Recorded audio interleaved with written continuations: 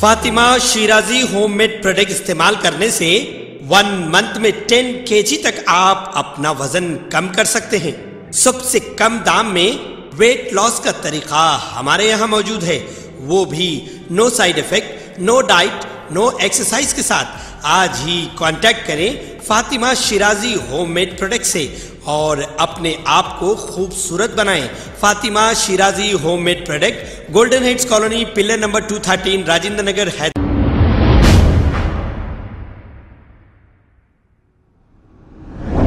वालेकुम नाजरीन, मैं हूँ Mohammed Abdul Hakeem, seven H news में आपका इस्तकबाल है। मलकाजगिरी एसओटी और चोटुपल पुलिस ने मिलकर एक जॉइंट ऑपरेशन करते हुए कर्नाटका और महाराष्ट्र को गांजा सप्लाई करने वाले छह अफराद को कर लिया है गिरफ़्तार। पुलिस ने इनके कब्जे से 360 किलो गांजा, दो मारुति एटिका कार, एक मारुति ब्रीजा, दस हज़ार रूपए नेट कैश और आठ मोबाइल फ़ोन इनके पास से जब्त करते हुए एक केस रजिस्टर करके तहकीकात का आगाज़ किया है। Rachakonda police commissioner M Mahesh Bhagwat ने मीडिया से मुखातिब होते हुए तमाम तफसीलात बताई है।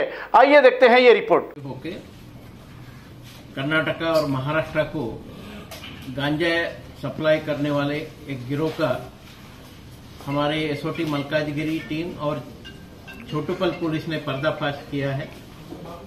इस टीम में छह लोगों को अभी हमने हिरासत में लिया है और उनके पास से 360 केजी गांजा, दो मारुति एर्टिगा कार और एक मारुति ब्रिजा कार, दस हज़ार रुपये नकद और आठ मोबाइल फ़ोन हमने बरामद किए हैं।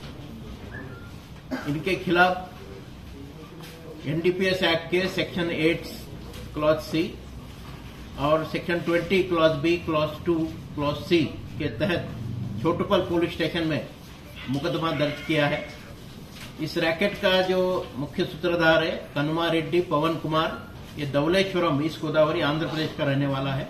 और 2021 में इसको शमशाबाद पुलिस ने यही गांजा केस में अरेस्ट किया था। उसके साथ ही मंदा सुधीर बाबू, ये गणपावरम मंडल, एलूरू डिस्ट्रिक्ट, आंध्र प्रदेश, कोटिपल्ली, लोवराज धवलेश्वरम ईस्ट गोदावरी आंध्र प्रदेश मिलकुल तेजा गणपावरन मंडल एलूरू डिस्ट्रिक्ट आंध्र प्रदेश पवन मनोहर तांबोले ये आजकल यहाँ हैदराबाद में बेगम बाज़ार में रह रहा है, लेकिन ये बिदर जिला का बाड़की तालुका का रहने वाला है।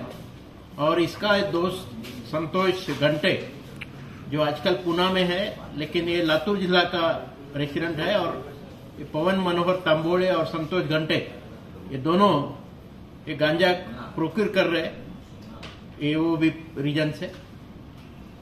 छह लोगों को अभी हमने हिरासत में लिया है। इनके तीन साथी, जिसमें ओडिशा से एक जीतू करके, जो सप्लाई कर रहा है, एक बाबा करके बसो कल्याण बिदर जिला का जो रिसीवर है, और मंगेश करके महाराष्ट्र का रिसीवर। ये तीन लोग अभी हमें अरेस्ट करना है। जो अभी हमने गांजा और व्हीकल सब सीज किए, इसकी कीमत तकरीबन वन करोड़ बीस लाख तक है।